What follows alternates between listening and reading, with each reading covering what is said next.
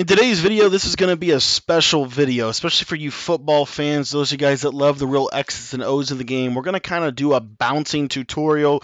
We're going to take some content off of the off of uh, other people's YouTube channels. This is not uh, Madden related; it's primarily football related, but it does cross apply to Madden, and we're going to unpack this for you. But I came across this last year towards the end of Madden 20. I thought it was so helpful for me um, as I was learning a little bit about the running game, and so what we're we're going to do is we're going to talk about why Kyle Shanahan is one of the best offensive minds in the NFL. All right, we're going to start by watching video and I'm going to load into practice mode with the 49ers playbook. So I just wanted to just show show you that. But for those of you that are new to my channel, what I do here is I do Madden tips. I typically will do um, four videos a day here on YouTube. You can find this video on YouTube. All you got to do is just search Alex Gibbs coaching the wide zone. We're going to watch a couple of tutorials. I'm going to talk a little bit about how does this apply to Madden, what you need to know, and then we're going to jump into practice mode and actually show you some of the things that Alex Gibbs is talking about and how it does relate. But for those of you that have never been to my channel, like I said, I upload four videos a day. I would love for you to subscribe. Um, you can do that by clicking the little subscribe button right down here. And also join my texting membership. There is uh, my numbers in the description of the video, but basically you can get access to exclusive Madden tips and tricks that I only share with my texting members every single week. It's completely free. All you have to do is text me and let me know you want to be a part about part of it. All right, let's let's stop talking. Let's jump in. Listen to the expert. Now, Alex Gibbs, for those of you guys that don't know, uh, let me just just do this really, really quick so you get some background. I really want to go in depth um, with this, and I do want to talk about where Alex Gibbs was um, before. So Alex Gibbs is an offensive line coach, is really what he um, specializes in but he was the offensive line coach. is a well-known proponent of the zone blocking scheme, popularized popularized its use while he was an offensive line coach of the Denver Broncos. Denver became famous at that time for its use of smaller, more agile offensive linemen, successive running backs, most notably Terrell Davis. So this is how this is how Kyle Shanahan came to know this scheme. He learned it from Alex Gibbs. And so we're going to jump right in here. And of course, his dad, Mike Shanahan, who was the coach of the Broncos during that time. So let's check this video out here real quick. And then I will be right back. Literally, I'm loading into practice one. I'm going to be watching it alongside with you. I might stop it and uh, comment on some things. Alex Gibbs uh, over Chandler High School. Been having a clinic here today and sharing ideas on wide zone uh, the keeper game, how they marry into the power and, and the reads. Um, a lot of great ideas shared, uh, ideas that I think are really up to date and modern and, and, and marry up uh, no matter what level, high school, college, pro, uh, how you want to aim everything at, okay? And out of that comes the idea of the, the three-step read. Now, a lot of people get this confused, and, and so as I get going, if, if, if, you, if you want to jump into something, just fire away. But at the end of the third step, I think he will know what he's going to do because he's going to real quick for those of you guys watching what what he's talking about right here. He's talking about the end of the third step meaning the third step of the running back. So the running back in the wide zone scheme is going to take what i call three gather steps three quick steps to then identify what he's going to do. Um, and so alex is going to talk a little bit more about that. Either bounce out or he's going to put his foot in the ground and go downhill okay and when I say go downhill, I mean he's going to then turn north. He's going that way, or he's going to bounce. And the third step is when he will know which one it is, but it'll take him four or five to actually get his body in a position to do which one of those two he's going to do. So he's going to get his foot ready to plant here and go that way, or he's going to take that foot and go that way. Okay? But he doesn't have any other choices. He does not have any other choices. There is not a cutback theory, but if you study the film, if you study the way it's textured, the cutback is geared off of the aiming spots of what is happening up here, okay? And this is where, as we evolve, we realize how much information there was out there and how much we could share and learn when we studied film. And that's part of what you're going to even be shocked. I don't care if you've been in this system for five years, eight years, nine years. I have guys come to me and say, I, I didn't understand it like that. I, I know we didn't either when we started. It wasn't like we had all these damn answers. We were just trying to find a way to get the ball out on the edge and not be a cutback. Now, I don't call that a cutback, okay? And I have a way of measuring it. I know exactly how far that is. But what I'm trying to do is make the defenders all contain it and keep the spacing the same as where they started. Now, that is hard on defense. I don't give a shit what they tell you. That's hard to do. Because when you run up in here, what are they telling you to do back here? Hold your spot, hold your spot, because it's going to come back to you. That ball ain't coming back to those guys back there, okay? So, for instance, this guy that's playing this outside linebacker or defensive end, if it's a defensive end, he's taught to keep that ball on his inside. So he's now got to run about four yards to plant the spot to make the ball do something, okay? Now, what is the next pressure? How about the next guy inside of him? What's he got to do? He's got to transpose his spot and get where? In the same relationship that he did when he started to this guy. So they got to move and they got to move and they got to move. Now the cutbacks occur because what happens to some of the lard asses that are in there? What happens? They can't get there, right? Or they're late, or they stepped where? The wrong way. Or as they made contact, they they they were out of control. Because now it isn't happening right in front of you, it's happening over here or over there. So as these people, they don't feel the creases and it looks like a cutback because you got a, somebody back here that didn't get started and everybody else got all the way over here and that's when it came down. Now, obviously, if this guy loses a contain, which is going to be part of what I'm going to teach him in the read, is that ball's bouncing. It's going outside. So it, it's set for one of those two things. And as we measure it, there's just all kind of criteria. When we put film on here, you're going to be really amazed at how it all works. We tell that tailback that without saying a word, you so he just said a lot right there. I want to interject before we jump into the clips. What he's talking about is, and we're going to show you this in practice mode here in just a second, but what he's talking about is basically at that third step, the running back, as he's coming this direction, he either has the option to go this way or he has the option to bounce it out. That's the only two options. He does not, and, and, at least the way he coached it, you do not want to come all the way back around. Now, I I would say in Madden, that's a little you can do some of that, but what I want you to catch is the idea that it is not a cutback. It is three steps, and it is either vertical or it is three steps and it is bouncing. Okay, let's jump back to Alex Gibbs. Take your three steps and you make your read. The guy that the center is blocking it doesn't matter whether it's a shade nose, a straight up and down nose, an inside two technique, because any one of those three structures, he's going to be working to the play side. Okay? And this tailback in this center should be on a direct line. If your tailback is ever behind your center, you have no wide zone play. If he's way ahead of your center, you have no center. you better go get one. So we want these guys to force the Ooh. thing. Only thing I would do different than you are right here, take that back if you would. What I would teach the left tackle, and that's my baby, is, uh, is uh, I, I never man up anything. I always sift on the back edge. So for instance, that guy's right there, and there's any human being in the world back there, I'm going there. That guy comes there, I'm going to the next one. I'm going to, I'm going to the next one.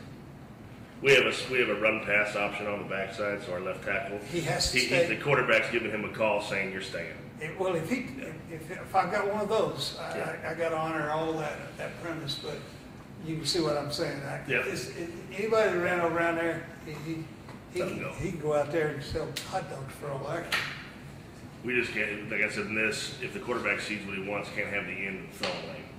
So that's why he gives a call to the tackle and he's locked. So from the left guard over, everybody's doing the wide zone. The left tackle's not. He's got. Gotcha. He's, And that's the reason, because you got your quick screens Yeah. concepts.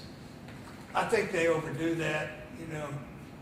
I also hate it when they throw it in my practices and I got a running play call. I mean, no, we block it every time they throw it. So we block it the best.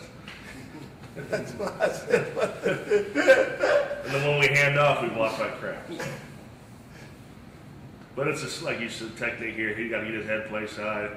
He's working to get his head play side, then let the lane opens up. So it looks like a cutback, but he's just going north and south. yeah, you think that's a cutback, but you look, look, look, look where this thing is up now. I mean, this thing, this thing is, is over here about seven yards. And if you look where the tight end started, take it back, and this is how I try to teach the dirt. See where he crossed the line, right where my finger You was, it's this is where the tight end end you know what was. is funny? Why just watching this right now, coach, and that guy is with the center. Look at our running back. That, He's, he's with the center. that is the measure stick. You see him? And I, I can tell the very minute when one, when something really bad happens, one of those two's off. Yeah. You know, So I'm not sure if you caught what he said. So he talked about the center being the measuring stick. What that means is he needs for the for the play to work right. This running back cannot outrun this guy. If this running back outruns this guy, then this guy right here or this guy, they're going to be able to stop this. As you see in this in, this cut up right here, what is happening is it's not a cutback, as you see they pointed out in the video. What it really is is it's just literally him cutting right forward. That's all he's doing. He's cutting right forward, but he hasn't outran his blockers. That is one of the biggest tips that I can give you. Um, we're gonna jump over here into game, and I'm gonna break this down for you um, in Madden 21, and we're gonna talk about this specifically. I got the Niners book loaded up here. We're gonna use Raheem Mostert, who I, in my opinion, is one of the better running backs um, in the Madden 21. Might be the best running back in regs. And the way the Niners would do it is they would actually run it from like slot close. Now, wide zone and the way that it's blocked, in my opinion, you can use HB Blast. This is if you're in iForm, it's called HB Blast in Madden. Um, if you're in single back ace, you see we can actually run zone weak, halfback zone weak. That is wide zone weak. Stretch is a different blocking scheme. So we're gonna we're gonna break that down for you. We're gonna start here in ace, and then we'll go to the two back. Uh, and, and like uh, Coach Gibbs said, you, it doesn't matter uh, what the blocking scheme is whatsoever. You don't have to have any um, anything in particular for that. So, all right, I'm going to jump back over here into game, and we're just going to run this a couple times, and I'm going to talk about it. I'm going to let the computer make the decision first, and then I'm going to take over in just a minute. So, snap of the ball, we're just going to run it, I just want you to see what happens. So, and you'll notice a couple of times watch watch the linebackers and watch what happens to the running back based off what the linebackers what happens. There you see it executes perfectly. It comes right up, ends up going for a touchdown. This next play that you're going to see, uh, or in the first play you saw, the linebacker came through. Watch how the running back typically does not cut it out. He typically is just going straight up the field. He's not really cutting out, um, in fact. And in most of these clips, he is literally just going to walk forward. As you saw right there, there was a good block shed and good things like that. Now, we're going to start breaking this down here in just a minute, but I do want you to just kind of watch it and get a feel for how the play runs. In fact, if you're actually running this play in, in, in, a, in a match, you can actually experiment a little bit with just letting the computer run the ball. I know that sounds, you know, like not competitive, not something I would ever come out of my mouth. Just let the computer do it for you. With how hard or with how sticky the computer can get in this year's game, it's actually crazy. It really is. Um, and you might just test it out and just be pleasantly surprised. Now, what we're going to do is we are going to jump into instant replay and we are going to talk a little bit about this this very very uh, special running play. So we talked about you heard Alex Gibbs talking about how the center and the running back have to be on a direct line. What what he means by that, you see here, you see how they're on this direct line right here. See this right here. This is the critical component. You your center needs to be out in front of your running back. If not, If if the if they're not either even or the center's just a little bit in front, that's a problem. Here the running back gets the ball. He takes one, two, three. Now, on that third step, that third step is when he makes his decision. Am I going to cut it to the outside? As you can see right here, this is what Coach Gibbs was talking about when he said it doesn't matter who sheds to the outside. What most, the biggest mistake most of you are probably making when you're running this run play is you are trying to run it like a stretch play. It is not a stretch play. It is actually much, much more effective if you try to run this almost like an inside zone play. Because what you see is you actually do have a cutback lane with this run in Madden. You can cut it back to the middle of the field or you can cut it back to the right. I wouldn't recommend that. What I would recommend you doing is running through this hole that literally you can drive a tractor through right down here, just like this. Now, unfortunately, you see the guard um, did not work up to the middle linebacker like we want him to. Most of the time, guys, the user is going to be on this guy right here. I'm just telling you from experience. Most of the time, this is the user, and what it boils down to for your success, for your success in running this run play, if you stay behind your blocks, this center or the the middle linebacker is going to get caught up in this mush right here. This cutback lane, you're going to come right through here. And then what I want to do is actually come out left. So I'm going to jump in now and run the ball myself. And I want to show you a little bit about, you know, kind of, I'm going to take three steps and I'm going to make a decision. So one, two, three, make a decision. There I go right up the field. You're going to find with this running play, it's a lot different than stretch run. It's a lot different in the way they block um, and the holes actually open up a lot differently. You have to be patient with this run. Again, one, two, three, and then you make your decision and you live with your decision. That's that's the best way that I know to teach this run. It's three gather steps. Those two of them are before you even get the ball. So literally one, two, three, and then cut. One, two, three, and then cut. If you can understand that principle alone, you are going to run for so many yards with this run. It's not even funny. And really, where your read is, where your read is, is what is the leverage point of the edge? Are they shading? Are they coming out wide? If they're coming out wide, you're going to come right underneath the run. If they're coming down the middle, then you're going to bounce it. It's really, really simple. One, two, three. Okay, they're coming down the middle. All right, I'm going to eat my yards. And he ended up getting through a shed. You will find with this run, especially if you have a fullback to lead it, you're going to get a lot of significant blocks by your fullback. So uh, we'll show it to you to the right side as well. So here you see there's that outside contain, but oh, didn't contain it all the way, and we're able to get to the edge. Running this from single back ace or running this from I-form twins is really, really effective for that reason right there. Oftentimes, the one thing I would tell you is you can actually cut it back if they are over pursuing with their middle linebacker, you can actually bring this all the way back. And I want to show you how to do that. And that's through using the double juke. If you see that you have if, if you see that the defense has significantly overplayed you, you don't ever want to start with this. This is more of a, you know, kind of honestly, as I get destroyed right there. Um, honestly, this is more of a, a moment that you want to do this you know, just kind of in a in a in a specific scenario, they're overcommitting. Maybe you've been running this a lot. In that scenario, all you're going to do is just come all the way back to the right. And as you can see here, you can cut this run back in Madden because you have the ability to cut at a higher level. Oftentimes, what I would recommend is IDing the Mike linebacker that you want to get that guy to work toward. That will allow him to work much, much more uh, fluidly up the line of scrimmage. I want to show you this run from two back, and then we can actually keep the conversation going maybe in a later video. We're going to unpack this more, but wide zone really caught my attention last year and is actually even probably better than it was last year this year. So wide zone here, three steps, one, two, three, and then I go, and as you can see here, what you get is you get a much cleaner, in my opinion, interior running space. It's a much more versatile run than the stretch. That's just my personal opinion. Um, because the stretch pretty much you have to they, you know you, that you have to go outside with it it's not an inside run by any means this one you can cut it all the way back in Madden you can also cut it down the middle or you can cut it outside depending all on what the defense does what the defensive look is for you remember those three gather steps and staying patient, staying on that line with your center. And really, the, most people think the read is the tight end or the read is the guard. For me, the read is the center. If the center gets to the right, if or if he gets if if he gets where he needs to get, most of the time this run lane is going to open up very very significantly. As you can see, it's very very difficult. It's also very very difficult for you to for for opponents to use her. I want to show you what I mean by this. Most people will try to do something like this right here and what you'll see is this is going to be very, very difficult. See how the center kind of closes that off? See how the center kind of closes that off? That's what makes this run so much better than stretch. With stretch, it's in the backfield, literally in the backfield. Watch. I'll run stretch right here. Watch this. Snap of the ball. Whoops. I'm sorry. I, I was not in a. I was not ready for him to snap.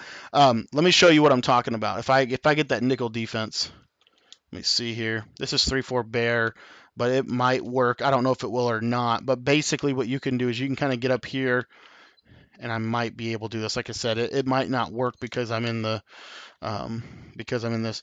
But you literally see how I can run right through the gap right there. Now I know I didn't stop the run, but and that's kind of partially because I'm using two controllers. With blast, you can't do that. With blast, you cannot do that. So you'll see like four six four six normal, for example. It's a really really good example. So if I just crash right here, what you'll see with this stretch run, I could run right through most of the time and contain the outside. As you can see, it's it's difficult, right? It's difficult to get out there. With blast, there's nothing that the there's really nothing the defense can do. I'll show it to you. I can definitely show it to you from nickel normal. Let me show you this real quick. So literally, you've, you've probably seen Joke do this all the time. This is how he stops stretch. But snap of the ball, and you're just going to run right through here. And look, there's no stretch run. The issue is if you try to do that against Blast, it's a touchdown. And I'm telling you, it's a touchdown every single time.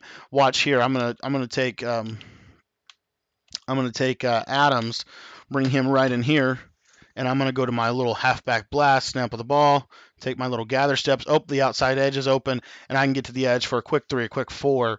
And if it's nickel defense, you'll see. Um, we'll show you here with like dime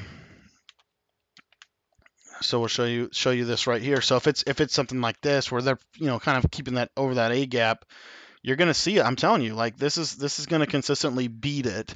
So to me, the blast, the wide zone is really really good. If you actually um, if you pair the wide zone if you pair that with a jet sweep off of it, it actually will kind of hold the defenders very, very, very, very well. What I like about it is it's very, very difficult for a defender to blow up this run. They can contain it, they can even stop it, but they can't really like they can't really blow it up in the backfield.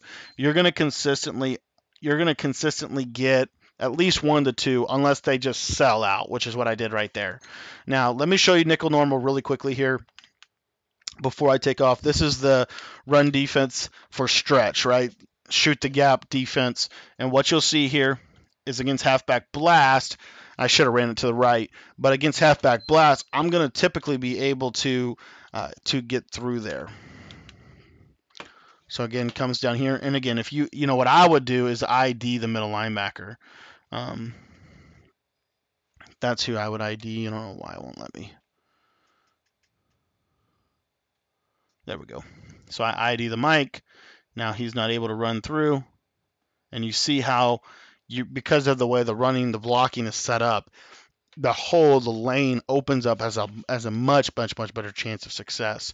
Um, this is the big nickel over G. This is probably the best run defense that I can think of in the game for something like this. But they're going to bring this down just like this right here. And again, if you just ID ID uh, da, da, da, Hill here. Watch here. See how he gets caught up because it's inside. It's it's it's not dive blocking. It's not stretch blocking. It's wide zone blocking. So, anyways, just wanted to do a little bit of an in-depth dive. We'll do more of these if you guys want me to. Let me know in the comments. Also, if you haven't joined the franchise yet, shoot me a text with what team you want to be. My number's in the top left. If you want to get signed up for the Texting membership, also shoot me a text. We have a Discord as well where you can kind of engage in more conversation with us. We can learn a little bit more. I don't know everything about this run. I know a little bit about it, and so I just wanted to do this video and see what you guys thought of stuff like this. But to me, wide zone is one of the hidden gems of the running game in Madden that not very many people use. So just want to do a quick video on that for you guys. Thanks for watching, and we'll see you on stream tonight.